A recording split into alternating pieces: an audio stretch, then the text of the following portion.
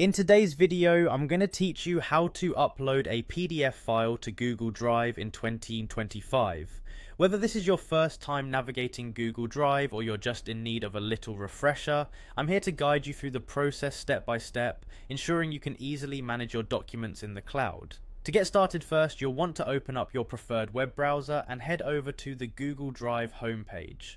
The easiest way to get there is by typing Google Drive into your search bar and clicking on the official link that appears.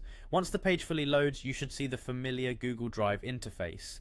If you're not already signed in, go ahead and log in with your Google account credentials.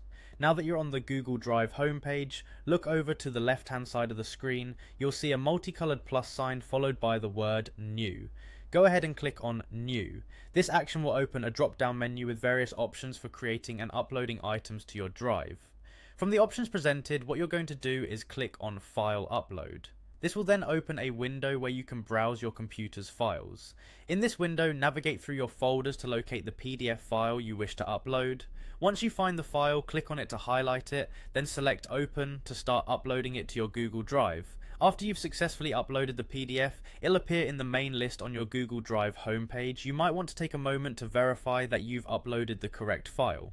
You can do this by checking the file name and perhaps opening it directly in Google Drive to ensure it's the one you intended to upload. If you're someone who likes to keep their drive well organized, there are a few options to optimize your file viewing.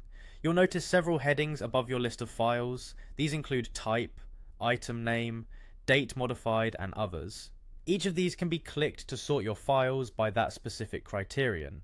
This is especially helpful when you're dealing with large volumes of documents. Lastly, if you want to share this PDF or any document in your drive with others, simply right click on the file and select Share. Here you can enter email addresses of the people you'd like to share it with and adjust permissions on what they can do with the file. And there you have it, you've successfully uploaded, organized and potentially shared a PDF in Google Drive. Following these steps ensures that your documents are safely backed up and easily accessible from anywhere. Thanks for joining me today, and if you have any questions, feel free to reach out. Happy uploading,